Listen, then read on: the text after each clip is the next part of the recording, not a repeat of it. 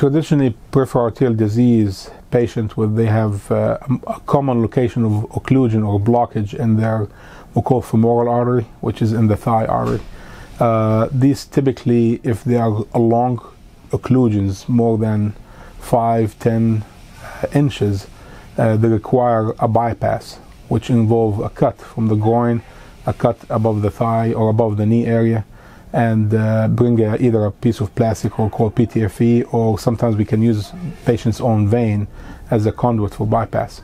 Uh, this uh, this will involve again making a surgery under anesthesia. General anesthesia typically um, require more pain control after the surgery. Um, a lot of patients go home within two three days. That's average, but some people can stay longer. It depends their medical comorbidities. Uh, this new procedure actually gives them an option of doing a percutaneous, less invasive procedure.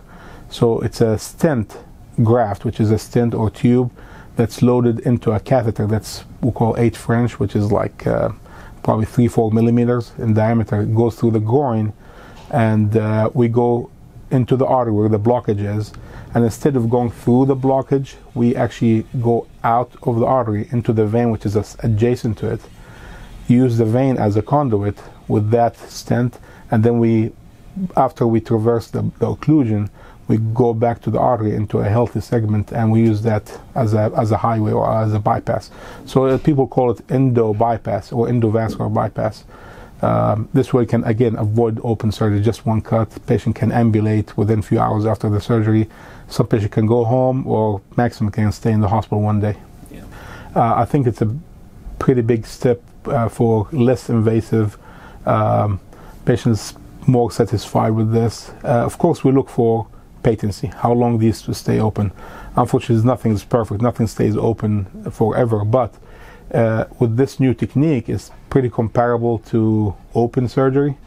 So certain patients that we think that they are high risk for infection, uh, for having complication from anesthesia, we prefer maybe to do these procedures them. So probably morbidly obese patients, patients with poor controlled medical condition like diabetes, patient that already has some kind of infection in the groin or in the thigh artery, try to avoid any big open cuts. Uh, I think they'll benefit from these procedures.